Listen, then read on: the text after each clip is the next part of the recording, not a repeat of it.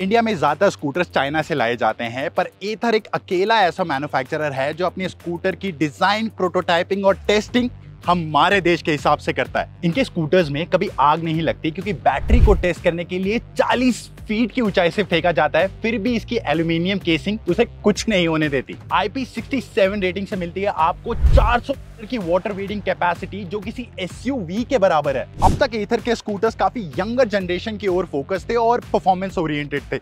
लेकिन जब इंडिया में पिछहत्तर परसेंट लोग टू व्हीलर से ट्रैवल करते हैं, इसका मतलब फैमिलीज़ को भी ये बहुत पसंद है। इस प्रॉब्लम को दूर करने के लिए एथर लेके आया है रिश्ता फैमिली स्कूटर जहाँ एथर के दूसरे स्कूटर्स काफ़ी स्पोर्टी और इंथुजियास्टिक डिज़ाइन के साथ आते थे, वहाँ पर रिश्ता में आपको मिलती है काफ़ी फैमिली वाली feeling when it comes to design Ather के सबसे नए स्कूटर में आपको मिलती है सबसे बड़ी सीट ये इंडिया में सबसे बड़ी है कंपैरिजन के लिए. साइड में सबसे ज़्यादा बिकने वाले आई स्कूटर की सीट और मेरी इस साइड में है सबसे ज़्यादा बिकने वाले ईवी स्कूटर की सीट एक बड़े से ग्रैब रेल के साथ आपको बैक रेस में मिलता है ताकि आपको ज़्यादा सिक्योर फील हो. इंडिया की सबसे बड़ी सीट का मतलब है सबसे ज़्यादा स्टोरेज स्पेस तो आपके स्कूटर के स्टोरेज कंपार्टमेंट में कई बार गंदा कपड़ा इधर उधर पड़ा रहता था.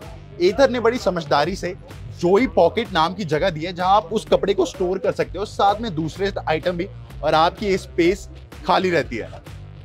इधर मिलती है एक्सटेंडेबल फ्रंट स्पेस जो कि ऑलमोस्ट 22 लीटर्स की है। फ्रंक हुआ 22 लीटर्स का और सीट के नीचे मिलते हैं आपको 34 लीटर की स्पेस यानी कि total 56 litres of storage space सिर्फ़ यही नहीं, आपको मिलता है एक ऑर्गेनाइजर यहाँ आपने सामान डाला, घर पहुँचे, इसे उठाया सीट बंद की और चल दिए। इधर बड़ा स्मार्टली प्ले करता है अपने स्कूटर्स के साथ। यहाँ पर आपको मिलता है एक पावर हब जिसमें आप मल्टीपर्पज चार्जर कनेक्ट कर सकते हो और किसी भी जैसे फोन्स और अपने डिफरेंट गैजेट्स को चार्ज कर सकते हो।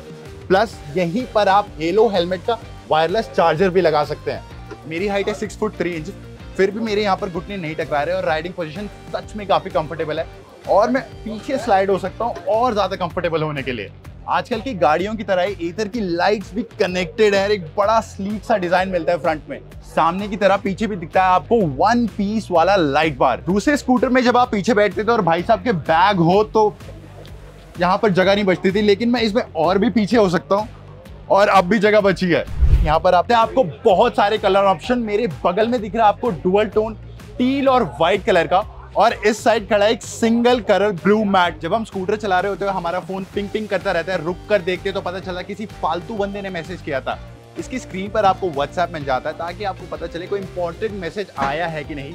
और व्हाट्सएप के इंटीग्रेशन के साथ साथ ही आप कॉल को डिक्लाइन भी कर सकते हैं विद अ मैसेज व्हाट्सएप और कॉल के फीचर्स के साथ साथ आपको पिंग फ़ंक्शन भी मिल जाता है, जिससे आप ऐप के थ्रू बड़ी सी पार्किंग में अपना स्कूटर ढूंढ सकते हैं। आप यहाँ पर स्क्रीन देख सकते हैं, काफ़ी क्लियर है और मेरे पास यहाँ पर जॉयस्टिक है, जिससे मैं सारे फ़ंक्शन मैनेज कर सकता हूँ। यहाँ पर बटन की क्वालिटी मेरे को काफ़ी अच्छी लग रही है और हॉर्न कुछ ऐसा साउंड करता है।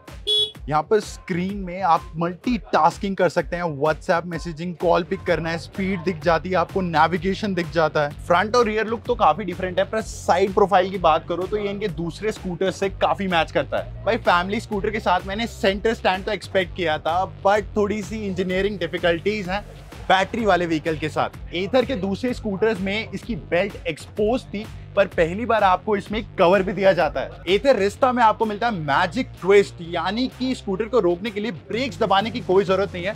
बस थ्रॉटल को ऑपोजिट डायरेक्शन में घुमाइए और स्कूटर रुक जाएगा। ऑटो होल्ड और रिवर्स फ़ंक्शन के साथ साथ आपको मिलता है एंटी स्किड फ़ंक्शन जो कि आपको फिसलने से कई बार बचा देगा। इधर आपको दो मॉडल्स में मिलता है one is S second is Z इसकी क्लेम रेंज है अप टू 130 किलोमीटर लेकिन ये 105 जा सकता है। और Z की क्लेम रेंज है 160 किलोमीटर पर ये 125 किलोमीटर तक चला जाएगा। इधर रिश्ता के लॉन्च के साथ साथ हमें दिखता है उनका हेलो हेलमेट स्मार्टफ़ोन है स्मार्ट वॉचेस हैं तो स्मार्ट हेलमेट्स क्यों नहीं? तो यहाँ पर आपको मिल जाता है हर्मन कार्डन के स्पीकर्स तो आप चलते चलते गाने सुन सकते हैं। कई लोग बोलेंगे कि इसमें ट्रैफ़िक की आवाज़ नहीं आएँगी तो ये उनको फ़िल्टर करता है, लेकिन इतना भी नहीं कि आपके लिए डेंजरस प्रूव हो। इस हेलमेट को मिलती है आईएसआई और डॉट सर्टिफिकेशन आप यहाँ पर दे सकते हैं यहाँ पर स्पीकर्स भले ही स्मार्टली प्लेस किए गए हैं और जो अंदर का मटेरियल है वो भी काफ़ी सॉफ्ट है। सबसे इंटरेस्टिंग चीज़ इसे आप अपनी रिश्ता की स्टोरेज स्पेस में रखिए और ये वायरलेसली चार्ज हो जाएगा।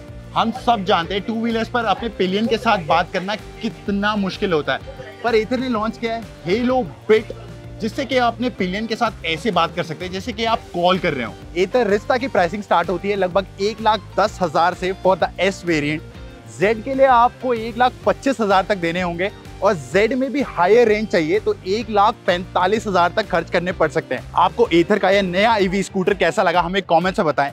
Like and share this video and subscribe to Jagran HiTech